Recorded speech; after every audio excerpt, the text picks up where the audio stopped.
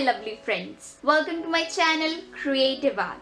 I am Nilima and today we are going to make this two beautiful Indian and ethnic look plate wall decors. If you look at the design closely, you will observe I have actually done Pichwai painting on this plate which gives a ethnic and Indian look to my walls. I am absolutely in love with this design and this painting type and I'm going to make a few more Pichwai paintings. The colors used for these paintings are really bright and brilliant colors. This uh, brighten up my space wonderfully. So this is something you must definitely give it a try. So friends, please to watch the whole video to make this beautiful plate decors yourself and do subscribe my channel friends for more creative art painting videos and do press the bell icon to get notifications for each video I post every week. So friends, let's quickly check out the materials we are going to need for making this beautiful Pichwai painting on plates. First of all friends, we are going to need two plastic white plates. I have taken the size of 20 centimeter. You can also select 30 centimeter size. Next, for coloring, we are going to use a premium artist metallic gold color and with it Fevicryl acrylic colors. These are for fabric, leather, terracotta and wood but this time we are going to use it on plastic plates. And next friends, on these plates we are going to use texture white as a primer so that your painting will be easy and other than that we are going to need brushes, palette and a cup for water. As I always say friends, use brushes according to your comfort. This time I'm going to use flat hair brush number 10, round hair brush number 8 number 3, number 1, number 0 and number 00 for the detailing part. And the most important thing for a plate decor is a varnish because it's only the varnish which will protect your plate decors from dust and other things. So do use the best varnish available. I like to use Liquitex Professional High Gloss Varnish. It is though costly but it is worth to its price. Other than that, if you're not good in drawing, you're going to need these two this is a carbon paper for tracing. I generally use a yellow carbon paper and my reference. To get this reference for your painting, please to check out my website which is www.creativearthome.com. You can easily copy this reference. So let's start the video now friends. So now friends, first of all, we are going to apply texture white on our plastic plate so that the coloring part will be really easy when we do it and our color won't flow through the plate so using a brush, I'm going to spread the texture white all over the plate. Give it a very light coating of texture white. Friends, if you're not good in drawing, you can simply copy the template from my website and what you have to do is you have to place a carbon paper. This is a yellow carbon paper on your plate. Then place my template on it and then secure the side of the plate with the carbon paper and the template using two side tape like this and go all over through the design using a pencil or a pen. Okay? So now friends my tracing part is finally completed. So i'm going to remove the reference and the carbon paper. So this is how our tracing part looks friends. So now we are going to start the coloring part and for coloring coloring, we are going to use Fevicryl acrylic colors. These can be done on fabric, leather, terracotta and wood but this time we are going to do it on plastic. So make note that we are not going to mix any water with these colors. We are directly going to use these colors on this plate. So let's start now. So first of all, I'm going to pour acrylic colors in my palette. We're going to need just a little bit of white, pink, yellow, parrot green and olive green so these are the colors we are going to need for making lotus and its leaf. Okay so first of all friends i'm going to start coloring from lotus and i'm using white color in my paintbrush. Remember that this time we are not going to mix water with the color. Then take just a little bit of light pink mix it with white and then do a slight shading in this way. Then again add just a little bit of more pink in the same.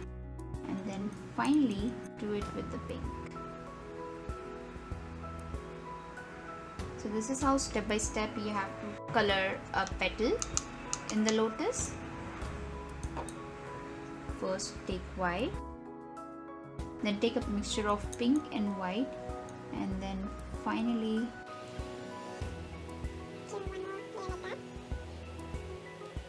Then finally use pink color. In the same way you have to do do for these petals also. Then directly take the pink color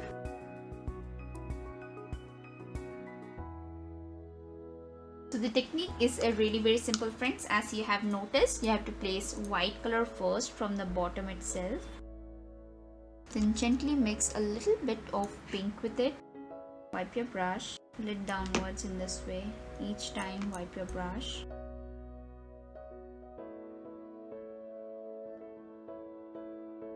Now on the same lotus itself I'm going to use just a little bit of white here edges pull it upwards in this okay after you have placed white place just a tint of yellow in the bottom. Wipe your brush and then pull it in this way. If you find it too much you can minimize it at the same time using white color okay. So in this way friends you have to paint the lotus and the buds the same way I have done here.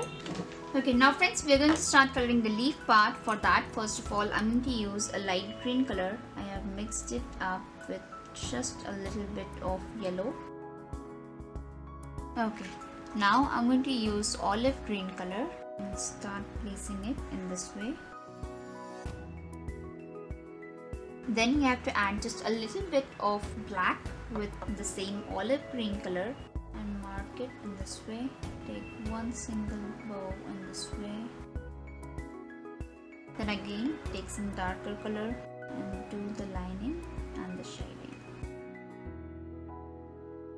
And I'm using the same dark green color and use just a little bit of light green from the edge this is the way we have to do it. And a slight line of light green in this part. So in the same way i'm going to color this leaf also. Now friends after coloring the lotus and the leaves i'm going to start coloring the cow. So for that i'm going to use white color. I'll apply white color all over the body of cow. And now I'm going to use purple color to color the background so in the same way friends, I'm going to color the whole background as purple and then show you how does it looks. Okay. So now friends, I have finally completed coloring the background as purple and now we're going to start coloring the cow. For that, on the headpiece, I'm going to use chrome yellow color and shade it using a light yellow color.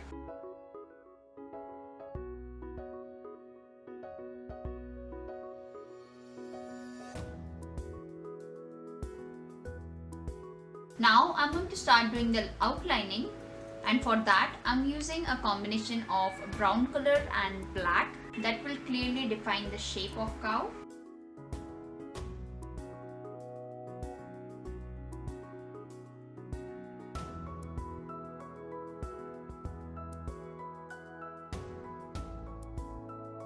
Now I'm going to outline the eye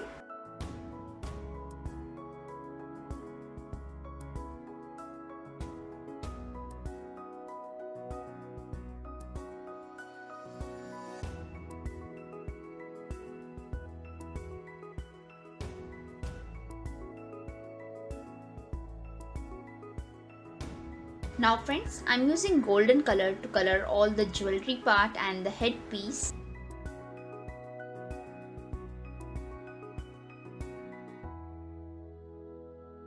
Now friends, after completing the whole painting, I'm going to do the border line using golden color. Now friends, I'm using ultramarine blue color to color this part.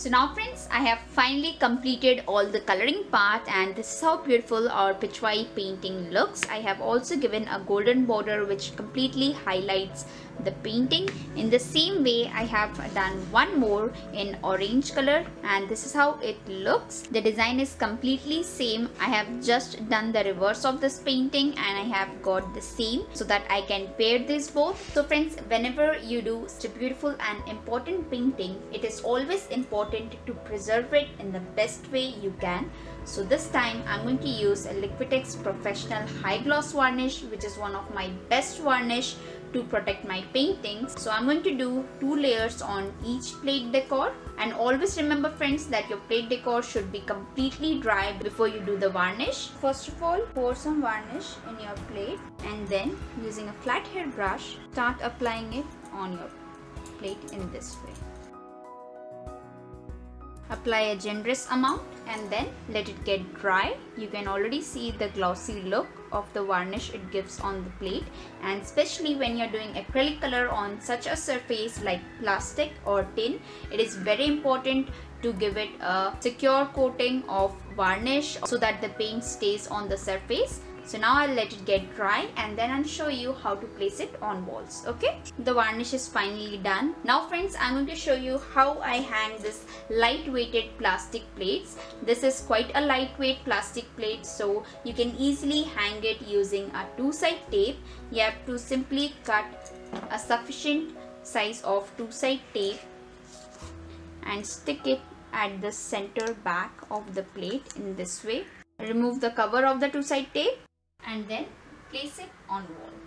Press it gently so that it may stick very well to the wall. Let me show you a close-up view of our painting so that you can clearly see the coloring part we have done, the lotus and the cow and how beautiful the golden outline and the jewelry looks in this painting. And this is the full view of our plate decors friends. So friends please give it a try. Make it yourself and do tell me in the comments below friends how did you find this video? And if you do like my videos friends please to like share and subscribe my channel. Thank you for watching